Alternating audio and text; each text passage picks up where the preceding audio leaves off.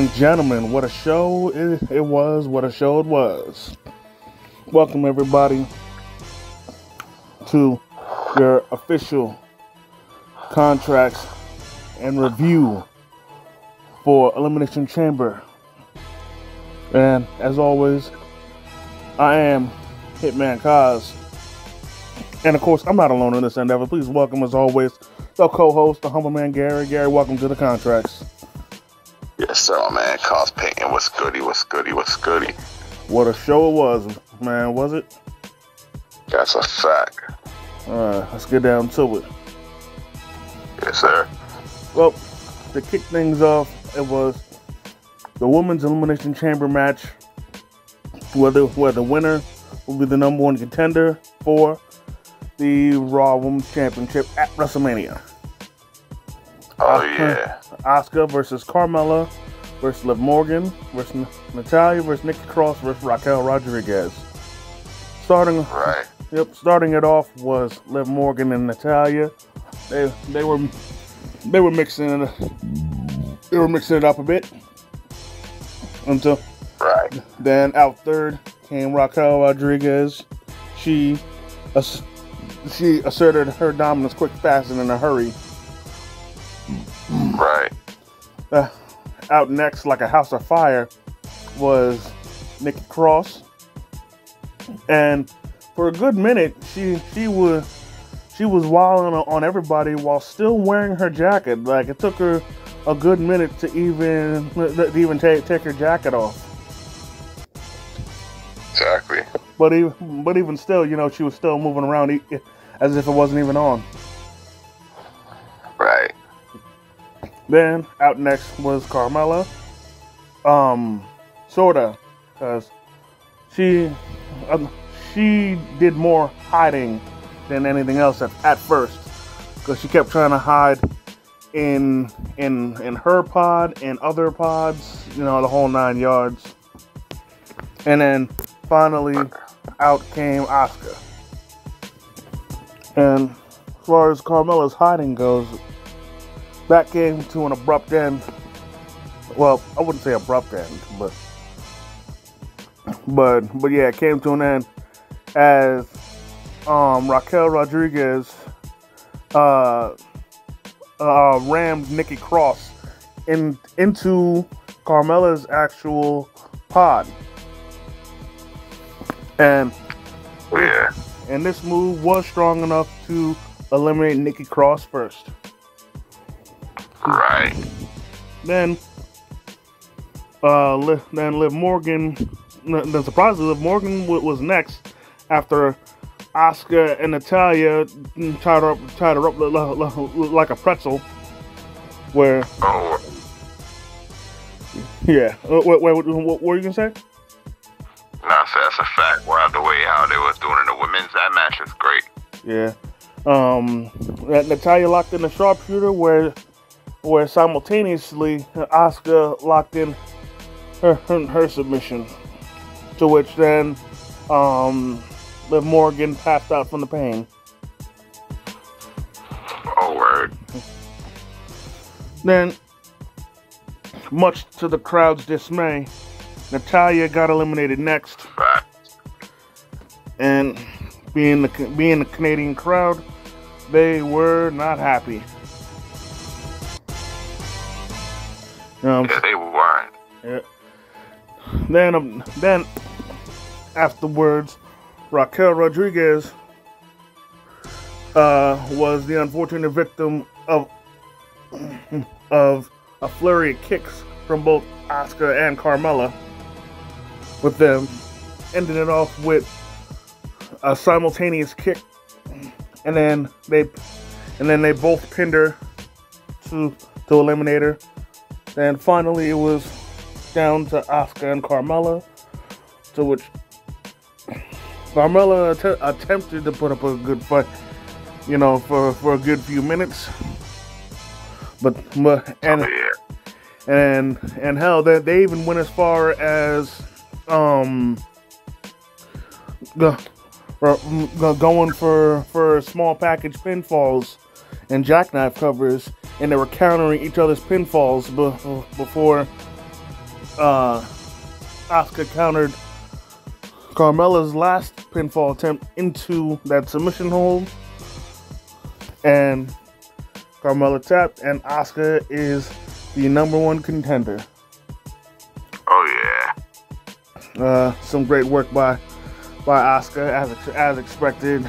You know, uh, I'm loving this this uh, return character of Kana. You know, slash Goro Majima. Oh, word. And and I love. It. Wait, wait. You, did you see Raw?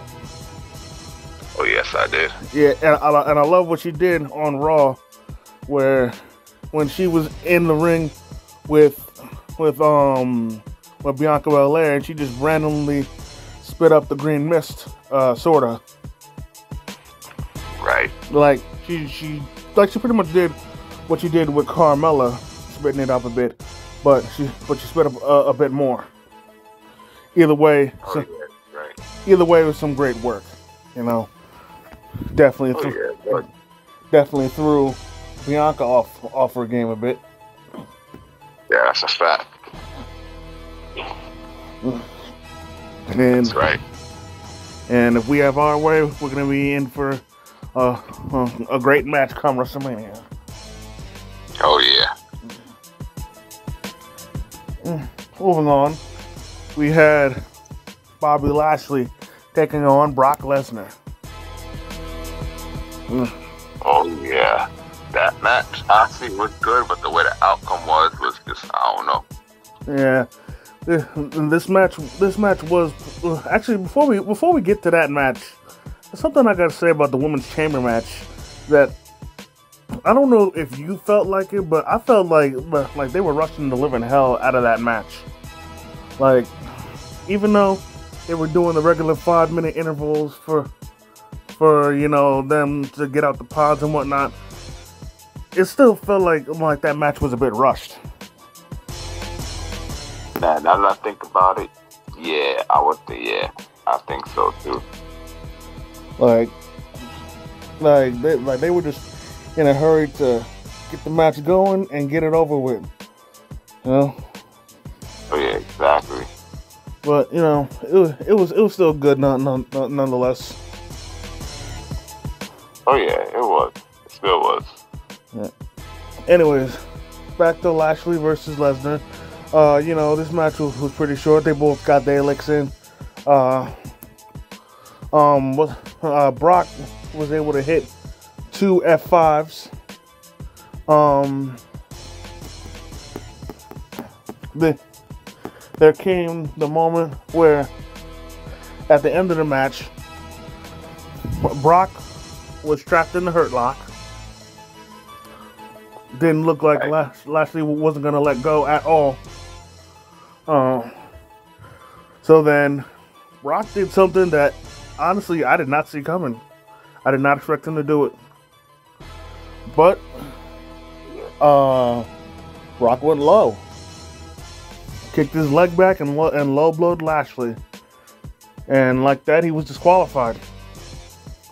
Yeah, that's crazy. And that was a shock. Like honestly speaking, yeah, like for real, man. Wasn't expecting that that some of that match again. Like I wanted, I hope it's a fourth match at WrestleMania, but I mean, from seeing Raw, from seeing SmackDown on Friday and Raw yesterday, um, Bray Wyatt came out because like they don't know what to do with them. They he said Brock Lesnar about Bobby Lashley. He facing the winner of that match. So, being that Bobby won by disqualification, it's gonna be Bray and Bobby. Yeah. And we saw Raw yesterday.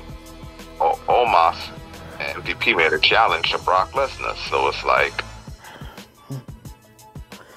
yeah, you know who knows. And, and you know, and, you know, I tell you what, man, Brock, upon the match being over, uh, the festivities continued. Because after that, he attacked the poor referee, hit him with, hit, and hit him with an F5. Exactly. Then you got a hold of Lashley, hit him with an F5. Then, because, you know, because um, the, the crowd had an insatiable appetite for for uh, destruction, they were chanting one more time, to which he uh, to which he, he, to which Brock obliged them, hitting uh, Lashley with another F5. But that still wasn't that. But that still wasn't enough because after that, you know, they they wanted one more, to which Brock gladly gave it to him. But but this time, he he, he hit him with the F5 through the announce table. All right. Yep. But even after that, the festivities still weren't done. Because after that, he he he got his hands on the ref once again and hit and hit him with an F5. Exactly. That was real crazy. He went off Mm-hmm. script. Ah, How insane. And you know, I couldn't help but notice the the whole match that the cr- that the crowd was in Brock's corner. Oh yeah. because pretty much any hit that uh, that Lashley landed got booed, and also the crowd was chanting Bobby Who. Yeah, they were. But hey, you know, Lesnar is Right. Lesnar is the the bigger star. You know, got Bobby, you mean? yeah. Right, right. But it is what it is. Mm. Right. Moving on, we have Edge and Beth Phoenix versus Rhea Ripley and um, Finn Balor. Also, Dominik was ringside. And speaking of Dominik, oh, oh man, did they did they let him have it? Oh man, this crowd was all over Dominik the whole the whole match, man. Right. Like you, like he was getting the ECW treatment, man. The crowd was was straight up, "Fuck you, Dominik. Fuck you, Dominik." That was crazy. Yeah. Like that. Oh, that, that shit, that shit was hilarious. Yeah, I ain't gonna lie, it was. I ain't gonna hold you. But for me, that's also that's also for me a sign that this heel turn is once again working. You know what I'm saying? Yeah. And That oh, and then That oh match. Sorry to cut you. yeah, no no go ahead, go ahead. That match, honestly, that tag team match, it was really great. Beth and Beth and Rhea, like, she they're one of those that stole the show throughout that whole match. Yeah, they they they're uh they they they they really made it made it a point to to definitely show out for the match. Um, there was an interesting spot where um Right. where uh Finn Balor had the ref distracted, and then while the the ref was distracted, Dom- Dominik attempted to to mess with um to mess with Beth Phoenix, who was on the on the top turnbuckle, but the but his first attempt he he messed up. I don't know what he was trying to do, but he messed up. Then Finn still had the ref distracted, which then he got up on the apron again and pushed her off. This then obviously raised the ire of Edge, who then chased him uh, out of the arena. Much to the crowd's delight, Right. who were then singing the Na Na Na song.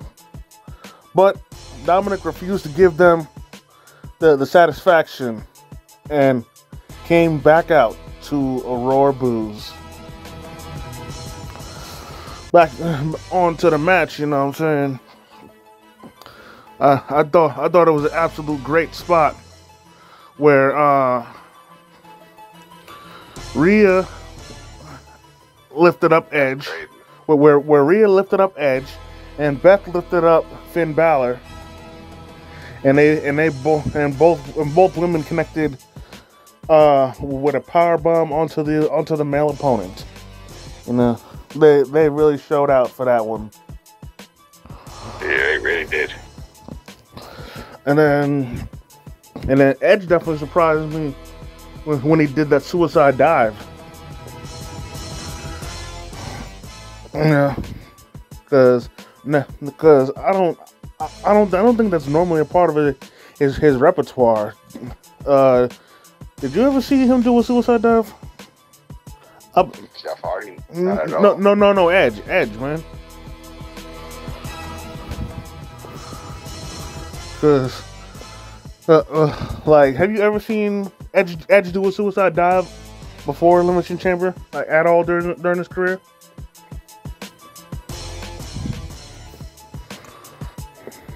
Go. Go. Uh, sorry. Right. Yo, you hear me? Yeah, I'm here. Uh, uh, uh. That's crazy. Uh, as I was saying, have you have have you ever seen um Edge perform the suicide dive up until now? Nah. Yeah. So I'm saying. Real great though. Yep. And then finally, I don't know whether they paid tribute or paradized. Uh, y'all take your pick, but you know, uh, Edge and Beth Phoenix ended things with the Shatter Machine. Again, I don't know whether whether it was a shout out to FTR or a pair or making fun of them. Take your pick. But yeah, they they used that to win the match. oh wow. Uh, definitely uh, a good a good match. You know what I'm saying? The the match itself really blew me away. You know, I I I honest I honestly didn't did not expect the match to. I mean, I expected it. I expected it to be good, but I expected it to go that good. Well, I know, right? Yeah, I wouldn't debate you there. So, so great, great work by all of them. Oh yeah. And this feud isn't quite over yet. Right. Moving on, we had the the, the second Elimination Chamber match. Austin Theory defending the United States title against Bronson Reed, Damian Priest, Johnny Gargano, Montez Ford, and Seth freaking Rollins. Now, let me let me just let me just get this out the way, because in my opinion, Montez Ford was the MVP of this chamber match. Right, most definitely.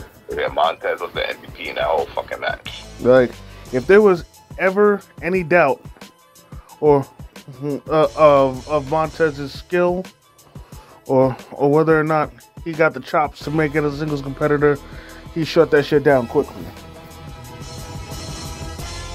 You know what I'm saying? Oh yeah. But you know, to start, hmm, Johnny Gargano and Seth Rollins started it off. Um, you know, people wanted uh, uh, some people are clamoring for Gargano and, and Rollins to have a match themselves, and who knows? Maybe maybe one day down the road they just might. Cause, cause cause that that is definitely a money match in the making, you know. But at least for uh, Seth Rollins, he uh, you know, he unfortunately had has uh, has a bit of bigger problems on uh, bigger problems on his hands. You know what I'm saying? Well, Steph. Yeah, any, but any case, after that, uh, our third came the champ, Austin Theory. Then, Damian Priest, and Bronson Reed, and then finally Montez Ford. Uh, most not- yeah, most notably, Bronson Reed got eliminated first after taking a finisher from pretty much everybody. Um, cause first he got he, he got hit with um Yeah. first he got hit with, with one final beat from Johnny Gargano. Then he got hit with the curb stomp, and finally hit with the frog splash from the heavens from Montez Ford. But who but who could forget the the the biggest the biggest and best moment from that match was Montez Ford scaling the cage and then hanging upside down before drop before dropping on on everybody. De- definitely some uh, definitely masterful work on his behalf. Um, I I really I really love that spot. You know, and John and then Jo- Johnny Gargano got a, got eliminated next. Um, following following getting hit with the raise with Razor's Edge from Damian Priest. Um, but then Damian Priest will get eliminated next, courtesy of Montez Ford. Um, but unfortunately, but unfortunately, uh, and I and I hate to say it, but unfortunately, it was the end of the road for for Montez Ford because he, I wouldn't say got overzealous something like that, but he definitely got caught lacking when he was when it, when he was sent head first uh on Yeah. through the bottom rope, to which then he got curb stomped, and then Correct. Yep, and then and then and then Austin Theory picked up the pieces. Um, then while the while the medical staff was helping Montez Ford get out of, of the cage, um, Logan Paul popped up, and man, did I call it!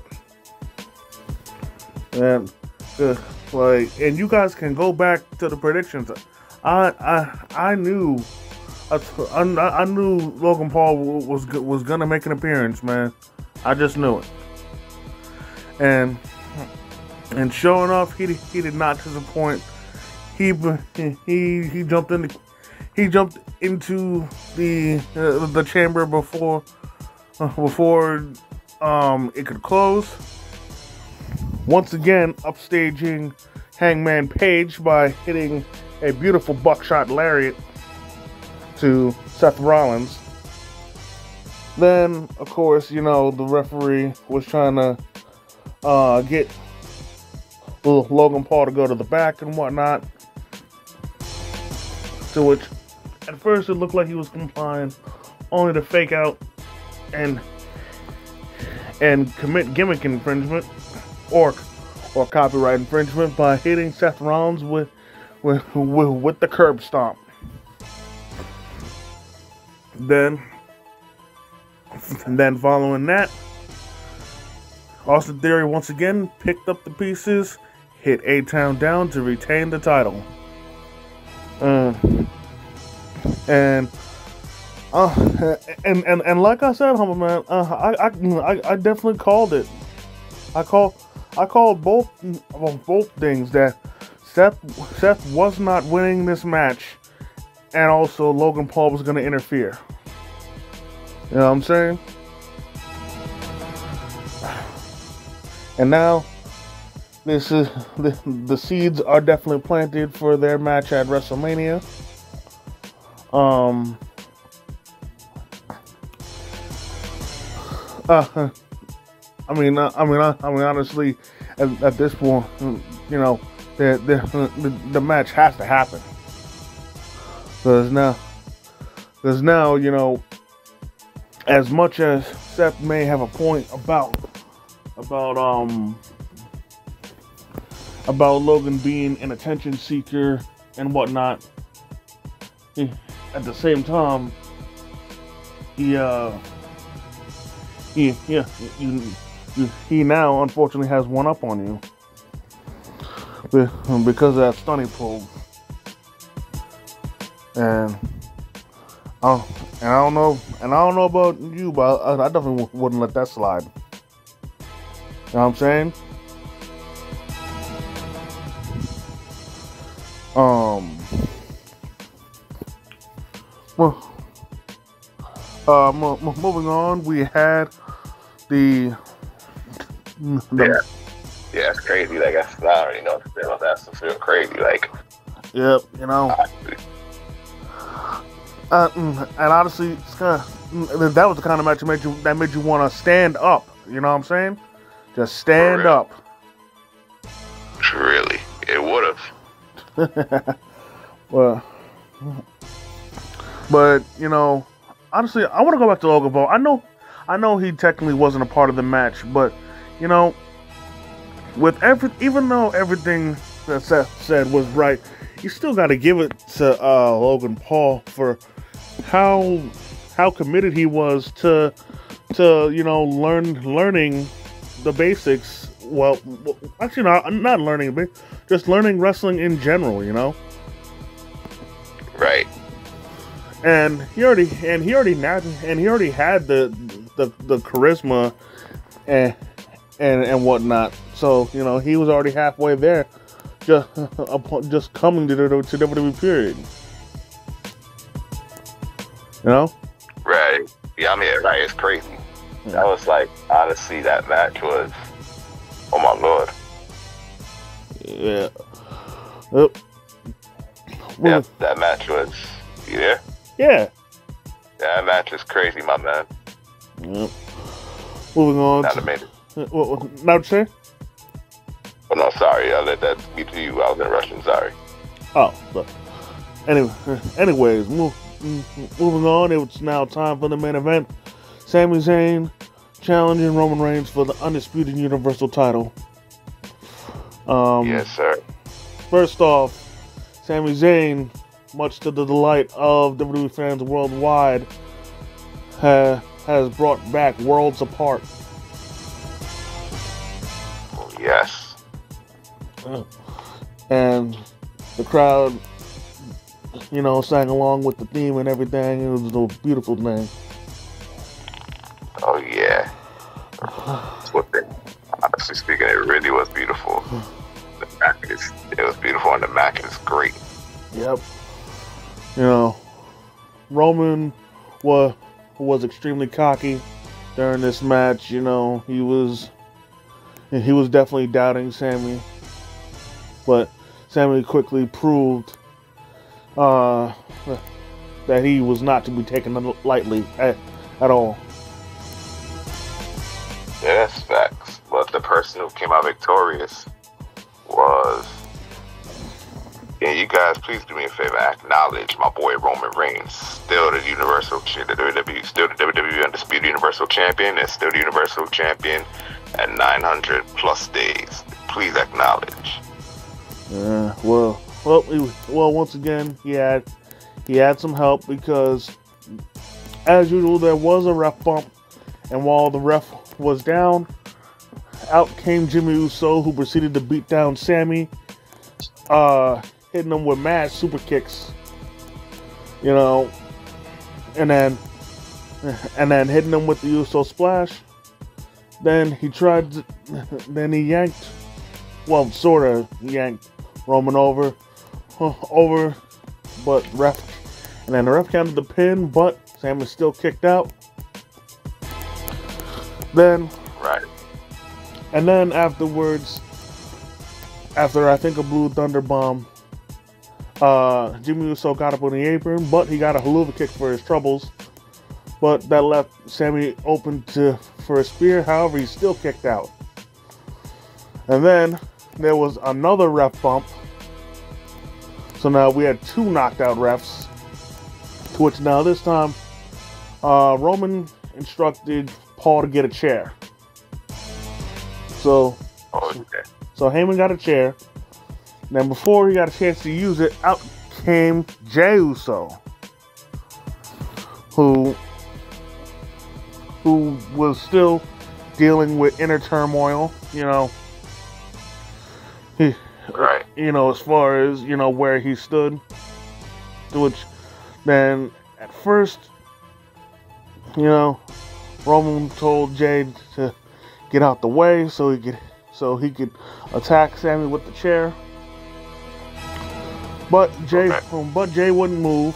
Now, I'd say this was a mix of him refusing to, to move so so he wouldn't hit Sami with the chair, and also a mix of him not even not, not even paying Roman any mind just because you know he was still stuck in his own head after because everything that's been going on. Exactly. Then he tried to give the chair to Jey, telling him to do it, but again, Jey wasn't listening. To which then he decided to try and push Jey in the face, to which Jey was sort of reacting to it, not really. But then here's when the badness happens. Um, Sami attempts a spear, but Roman moves out the way and, and Sami hits Jey instead. And then this, Yeah, that was crazy. yep. And then th- that left Sami wide open, to which he got speared from Roman, and uh, then that was it. Oh yeah, Now, back acknowledged. Now, you know, e- even before what happened on Raw, I felt this messed up things because because it wasn't a clean win. You know, people are clamoring for Sami to get another shot, which, which you know, I have no problem with, but this this essentially wrecks things as far as Cody Rhodes versus Roman Reigns goes because they have they have their own storyline going too. You know, as far as Cody's, you know, road to, you know, having his story come full circle and whatnot. Exactly. But That's right. so so that sort of that sort of messes that that was sort of messing up things. But hey, um, but but considering that it just that, that it more than likely isn't gonna happen, you know, yeah. I'd like, I'd like, I'd really like to know where everybody goes from here. Where does Sami go from here? Where does Jey Uso go from here? Because I, because the biggest, the biggest like wild card or gray area right now is Jey Uso. I need to see how, I need to see what his response is, what his actions are, following what happened. Is Exactly. you know, is he gonna side with the bloodline again and take offense to the spear, or is he gonna understand that the uh, that the spear was accidental and and you know fully turn on the bloodline? Oh, word. Yeah, that's what I want to see it happen as well. So you know, I honestly can't can't make any further judgment or or any or think any further as far as the storyline goes until you know un, until that un, un, un- until until that happens with Jey. Like we need we need we need Jey to have some sort of response. Yeah, we do. But and uh. And until that until that happens, you know, that's that's gonna do it for this episode of the contracts. I definitely want to thank each and every one of y'all for taking the time out of your busy schedule to come and chill with your boy. I definitely want to thank the humble man as usual for coming through, kicking his wrestling knowledge. Oh yeah, you already know. You already know, and we'll be right back here. Uh, we're coming at y'all next month with giving our predictions for WrestleMania's night one at both nights, night one and two, and we'll also be right here, right back at y'all next month for uh, giving our predictions for NXT Stand and Deliver. Yes, sir. Yep, And, yep. and with that being said, you know, if y'all enjoyed this video, go ahead hit the like button. Comment if you feel like it. If you're new to the channel, please subscribe and hit the notification bell so you never miss a new video. And until next time, away at Struggle Vision Productions, it's the Hitman and the Humble Man, and we out. Peace. Peace. It's the Hitman and the Humble Man, and we out this bitch. See y'all back here next month.